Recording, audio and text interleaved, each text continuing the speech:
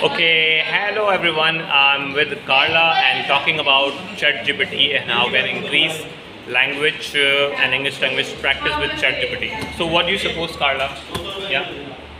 I like the app called Call Annie because it's almost like having a real conversation and you're talking to someone. I also feel very strongly that you need to con- that people need to continue real conversations with real people. And I often tell everyone take five to ten minutes every day.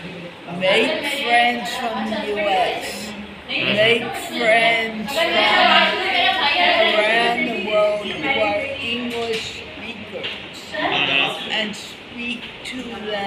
every day for five to minutes. And not the same person because everyone speaks differently. Everyone has a different take on words depending on their own experience and how they've grown up.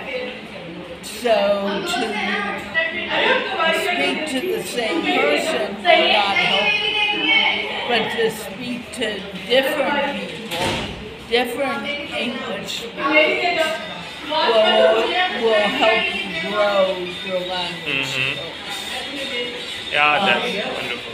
Go on. Yeah. So uh, we need to have uh, rather to be uh, using ChatGPT.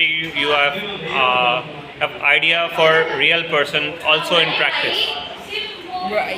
Yeah, that's wonderful. Um, Call Annie's great. Mhm. Really, I've tried her. hmm You really have a conversation, but it's still not a real person. okay. And a real person will not be able to correct the pronunciation, hmm will not be able to correct things Mm. that chat, I don't know, according to Rayhan, probably chat GPT has a lot more ability than I'm giving it credit for. we had a long talk about it the other day.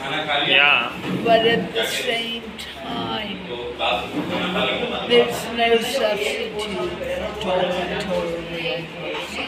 Mm. Because the real person is something that we have precious time, emotions, and uh, value to exchange idea for the long term and uh, for the time being. That is wonderful. Yeah, this is a valuable idea.